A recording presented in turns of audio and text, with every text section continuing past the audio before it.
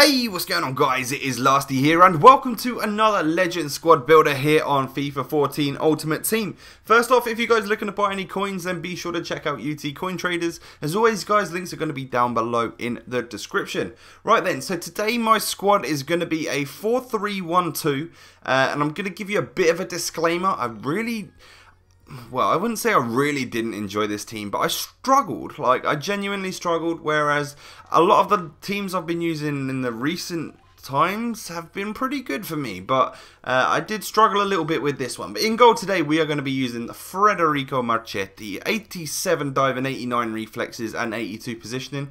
Um, didn't really notice him doing too much, but he has that acrobatic save style. Uh, and other than that, you know, you can tell he's got good reflexes and stuff, uh, but a pretty average goalkeeper for me this time when I was using him.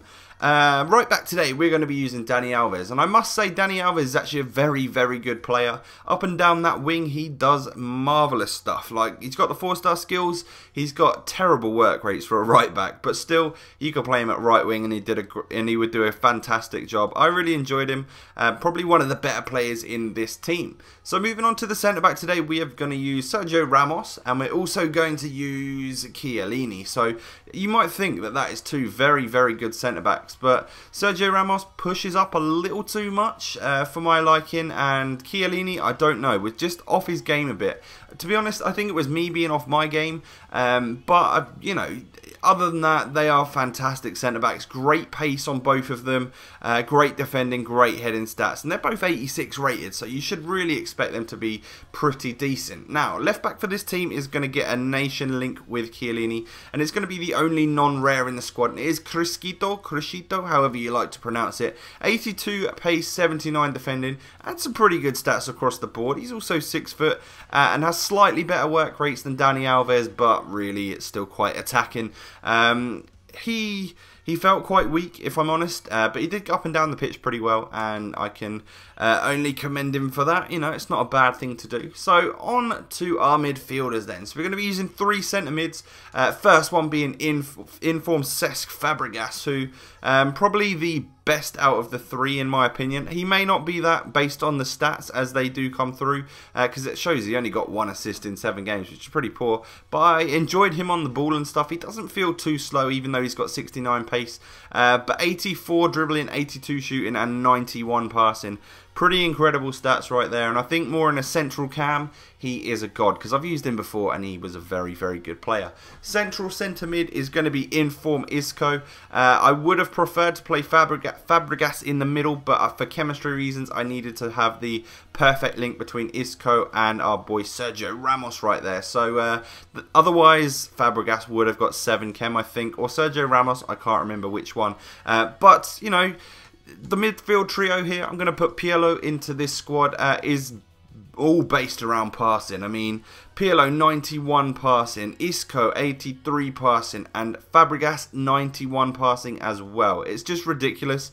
All three of them are pretty much maestros uh, when it comes to uh, getting the ball through to your strikers and stuff. Uh, but I just struggled a bit with this time. Maybe it was because the, the team is so narrow. This formation has no real wide players apart from your left and right back.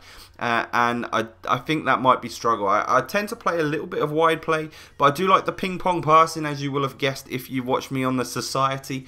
Um, I do like to do the one twos and chip over the top and stuff like that. So uh, I'm not sure why this didn't work for me this particular time, but perhaps it was just me this week. You know, I haven't been the greatest, but um, some weeks I just smash people 5 or 6 nil, others I lose. So this just been one of them weeks, but we move forward. Our, our cam for this team is going to be Di Natale. Now, he scored a couple of goals in this team, and he got he's got 86 pace, 87 dribbling, 86 shooting. Crazy, crazy stats right there. He's a default striker, and I think, to be honest, I did wrong by playing him at a cam. He would be better up front.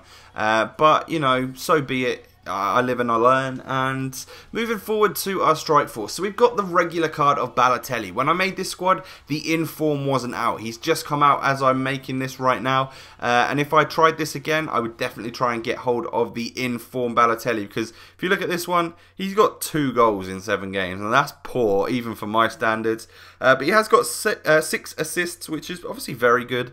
Um, And it just shows that I was trying too hard to get the ball to this guy, Inzaghi, who is our legend in this Legend Squad Builder today. And I really wanted good things from him because he's got 85 pace, 75 dribbling, 74 shooting, 74 heading. They're not great stats. He's obviously very pacey, but uh, it's kind of like an informed silver stats, really. But uh, he's got really high finishing and stuff like that. I paid 700k for him, uh, and I struggled to even score a goal a game, which I think if I used him with like Vieri or someone, he might he might do a bit better. But uh, as I said, probably just not my time with this team this week. Uh, but other than that, the squad looks really good. Like it's it's got all the good players in the right places and stuff. Um, but just perhaps maybe a different formation would have worked slightly better. Um, but you know we will try that again next time. We'll move on to something a little bit wider for the weekend uh, and see how we get on with a new legend. Um, so what I'll do now is I'll move over and show you some of the bare minimum goals that I actually scored with this team. I do apologise for that if the clips are quite short. But we'll move on to that, guys, and I'll see you over there in a second.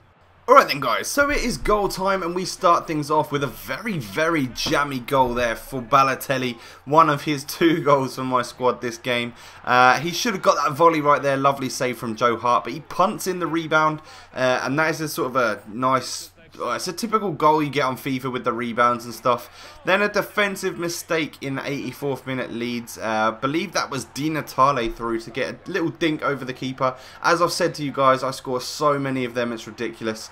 Uh, and then Di Natale there with a tidy bang finish. Great ball through there from Balotelli. Got a nice goal coming up here with Isco. Good ball over from Ballo, uh, showing one of those six assists he actually got for me. And a lovely striker cross goal from the inform Isco. A wonderful little player he is. Uh, very fun on Ultimate Team if you can get him in the right space and stuff. Unfortunate there from Pirlo on the wrong foot. Uh, I hoping he was going to open up his body, but Inzaghi just taps it in. He literally could have done nothing else but score there. Ball in from Ballo, and then Inzaghi's not too bad in the air. 74 heading is not the worst stat to have. Uh, I guess one of his things like jumping or something is just quite low maybe. Um, but he shows some dribbling here, you know, it is quite tight. I believe it's 79 dribbling on his card, was it? And then an easy little finish into the back of the net. Uh, but it is you can consistently see Balotelli playing those lovely balls through. He hasn't got particularly great passing, but I've got to say, six assists in the seven games from a striker uh, is quite impressive. Another one there from Ballo, and if you were playing well with this team, like sometimes I would, sometimes I wouldn't, then that is the exact sort of goal you would expect to score with Inzaghi. Just get him through, use that pace, uh, and then he is so clinical if you can properly get him in miles of space. Uh, like right here, look at that for a volley. I really did like that one. And that is the final goal I've got to show you today, guys. So, if you have enjoyed, please drop a like on the video. That would be epic. And I will see you again tomorrow with another video. Peace.